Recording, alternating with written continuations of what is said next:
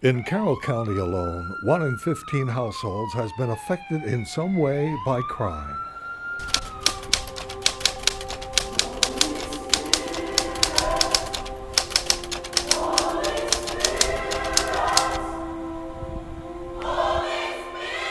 What if that first moment in prison is also the first moment that person has taken to reflect on life?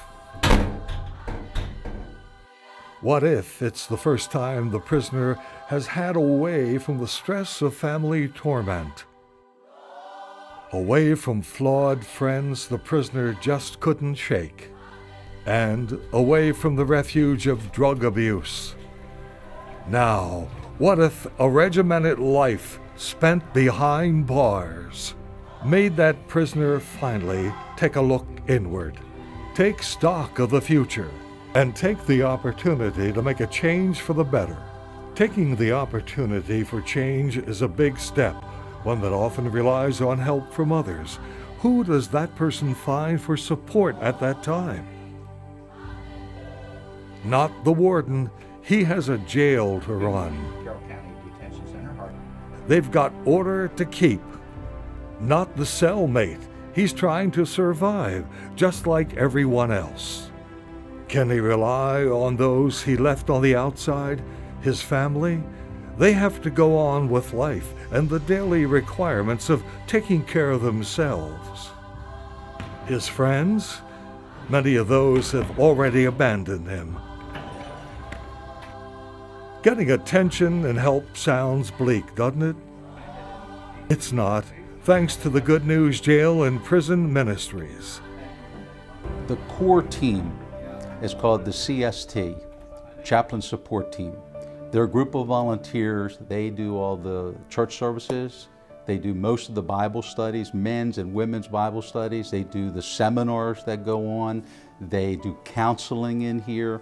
Um, so um, we really have quite a quite an army of people in our community that makes this ministry uh, successful and have the impact that it does.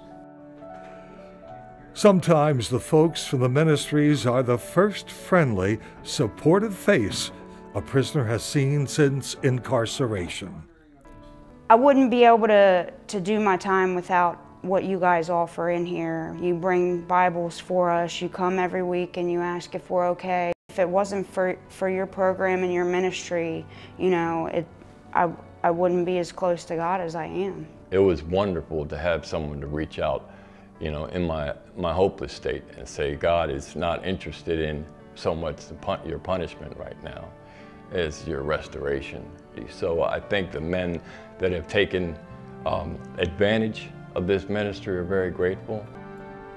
The ministries could not succeed without the support of the community and the volunteers that serve the Lord through working with the staff and the prisoners.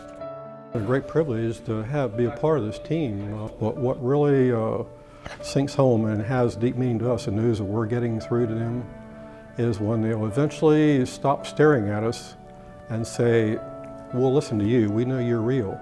Because that's what the guys want, something real in their life and people that are real to them.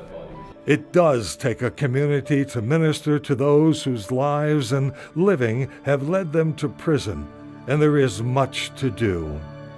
If they've been here, you know, they could be here for uh, a day or two, they could be here for 36 months.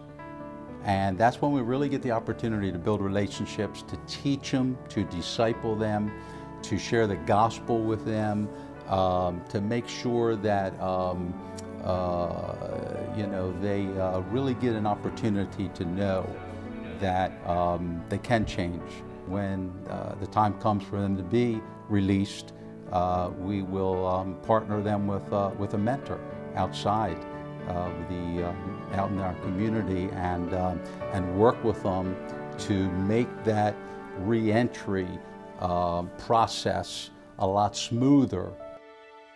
Teaming up with Good News Jails and Prison Ministry to be a team.